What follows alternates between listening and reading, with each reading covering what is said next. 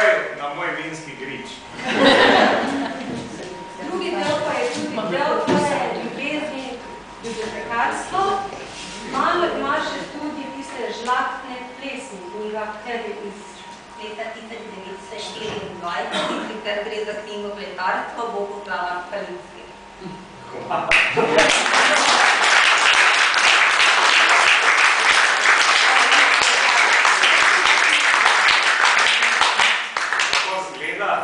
kako pa v praksi imamo pa kdaj pokazati.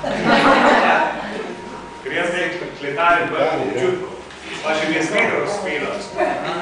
V sorodstvu edini nisem dal lani vina na ocenjevanje, ostali bratje in sestre, vsi so dobili diplome, sestre pa rekel, ti imaš pa dobro vino. Lepa hvala za vse.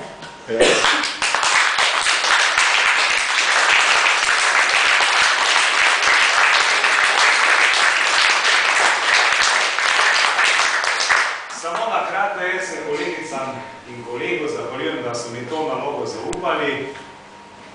Že takoj, ko sem se pogovarjal, se tako malo milo gledali proti meni, ne?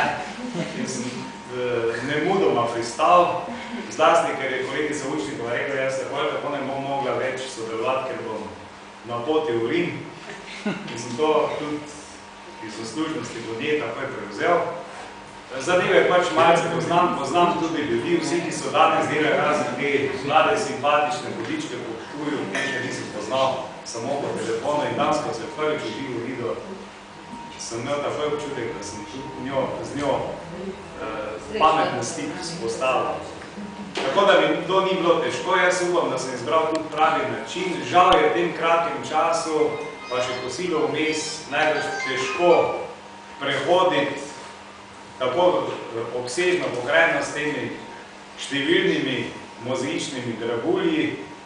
Jaz upam, da smo tako približno vtis dobili, vse to je pa tako samo za žmat, kot mi temu rečemo, da se človek potem vrne, si natančne pogleda, si o mužcu, o glonarju, recimo, po vsa ta imena, ki smo jo menjali, ki je še kaj prebere in potem to dopolni.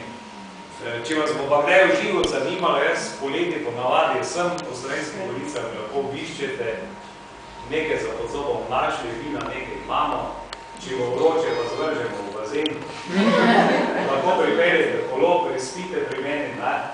Tu se jaz zelo še pogrudim. Če bom kdaj dočakal penzijo, to, kar se želim, bom služboval samo v tem smislu, da lahko znane in najznane ljudi gostim in da se imajo lepo in fajn. Živijo na naslednjem zborovanju.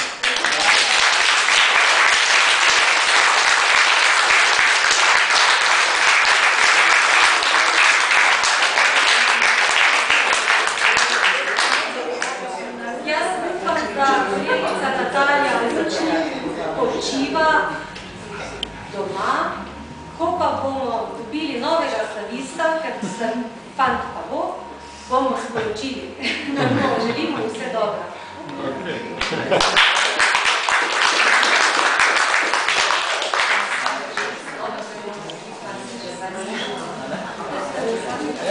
Tako, zdaj pa